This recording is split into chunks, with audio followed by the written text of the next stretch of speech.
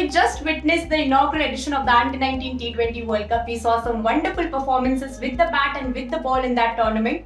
The Senior T20 World Cup is going to be no different. But who are the players who can create that impact with the ball and bat? Well, let's have a look at some of the players to watch out for in this tournament in Outside View powered by Elista. Smart हो रहा है India जैसे India में बना Elista smart LED TV with world class clarity and amazing features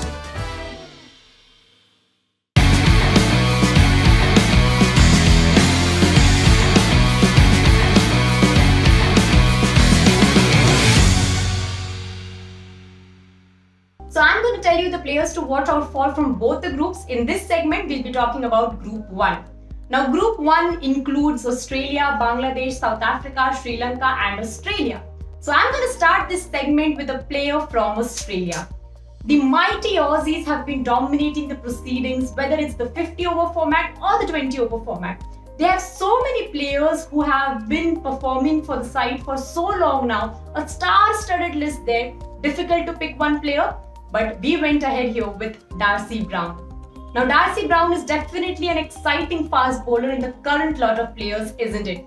She is just 19 year old and it's difficult for us to believe it because in her relatively younger career, she has produced some wonderful performances with the ball and has created an impact with her bowling there. She has those lethal bouncers in her armory and can create the magic with the new ball as well. So definitely do watch out for Darcie Brown in this tournament. Let's move on to a player from Bangladesh then. Well, Bangladesh have included four players from the Under 19 T20 World Cup squad for this T20 World Cup. There are three Akhtars there, well, Shorna Akhtar, Dilara Akhtar, Marufa Akhtar and Disha Biswas. We are going to talk about Marufa Akhtar here. Now, Marufa Akhtar has been consistently performing well for Bangladesh in the Under 19 T20 World Cup. She finished the tournament with 8 wickets to her account and the special thing about her is that she can be effective with the ball not just at the start of the game but at the end of the game as well and that gives her an edge over others. It's now time to talk about a player from New Zealand and that's going to be Fran Jonas. The left arm spinner has shown a lot of promise ever since she's made her debut for New Zealand.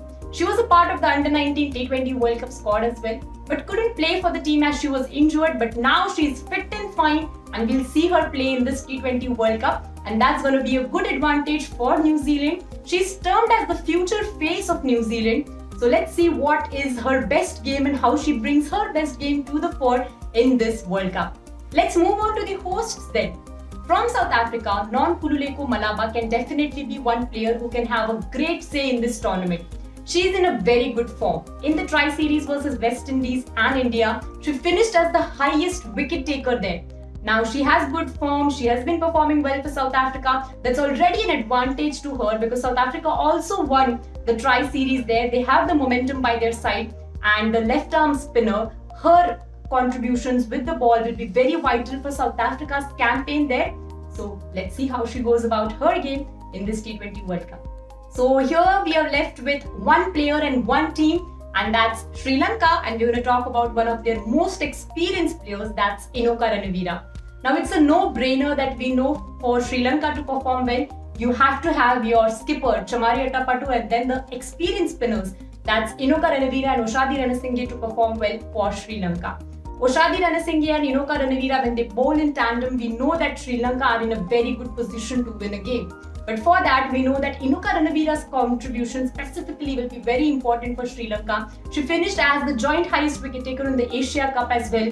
She has a lot of variations in her bowling, and that may be a difficult task for batters to read her. And that would give her an edge over the batters. But Sri Lanka would want that Inoka Ranaweera continues to perform well for the side. She has a lot of experience under her sleeves, and that's going to help Sri Lanka in this tournament. But that's what is a big task for Sri Lanka considering the group that they are placed in. So these were the five players to watch out for from Group 1 of this T20 World Cup. Who according to you is going to have a greater say in this tournament? Who's your player to watch out for? Do tell us in the comment section below. And for all the updates on women's cricket, you know that you have to stay tuned to Women's CricZone and to the Outside View powered by Elista.